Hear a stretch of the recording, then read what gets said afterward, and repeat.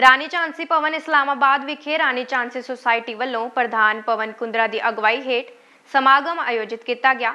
Councillor ਵਿਕਾਸ ਸੋਨੀ ਮੁੱਖ ਮਹਿਮਾਨ ਸਨ ਅਤੇ ਸਾਬਕਾ ਮੰਤਰੀ ਲక్ష్ਮੀਕਾਂਤ ਚਾਵਲਾ ਉਚੇਚੇ ਤੌਰ ਤੇ ਮੌਜੂਦ ਸਨ। ਇਸ ਮੌਕੇ ਤੇ ਬਿਊਟੀ ਪਾਰਲਰ ਦਾ ਕੋਰਸ ਕਰਨ ਵਾਲੀ ਲੜਕੀਆਂ ਨੂੰ ਸਰਟੀਫਿਕੇਟ ਵੰਡੇ ਗਏ। ਸ਼੍ਰੀ ਸੋਨੀ ਵੱਲੋਂ ਸੁਸਾਇਟੀ ਨੂੰ 2 ਲੱਖ ਰੁਪਏ ਦੇਣ ਦਾ ਐਲਾਨ ਕੀਤਾ ਗਿਆ। ਰਾਕੇਸ਼ ਸ਼ਰਮਾ, ਨੀਲਮ ਸ਼ਰਮਾ, ਵਿਸ਼ਾਲ ਮਿਸ਼ਰਾ ਸਮੇਤ ਕਈ ਲੋਕ ਮੌਜੂਦ ਸਨ।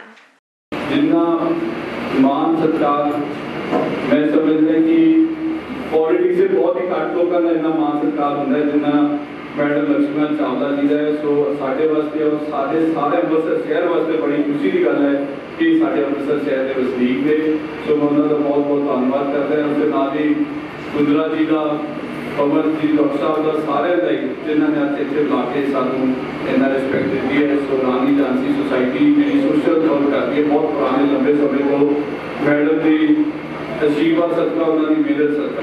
ਤੇ ਉਹ ਵੀ ਅੱਜ ਇੱਥੇ ਆਏ ਸੀਗੇ ਉਹ ਪਹਿਲੀ ਵਾਰੀ ਅੰਦਰ ਆਇਆ ਤੇ ਨਾਲੇ ਵੀ ਅੰਦਰ ਆ ਕੇ ਤੇ ਜਿੰਨੇ ਵੀ ਸ਼ਹੀਦ ਆ ਜਿਹਨੇ ਘਰ ਨੂੰ ਸਾਰੇ ਚਿੱਤਰ ਲਾਏ, ਆਉਣ ਵਾਲੀ ਪੀੜ੍ਹੀ ਨੂੰ ਪਤਾ ਹੀ ਨਹੀਂ ਗਾ ਕੀ ਗੱਲ ਉਹਨਾਂ ਨੂੰ ਦੱਸਣ ਵਾਸਤੇ। ਬਾਕੀ ਤੁਸੀਂ ਇੱਥੇ ਆਏ, ਤੁਹਾਡਾ ਬਹੁਤ ਬਹੁਤ ਧੰਨਵਾਦ।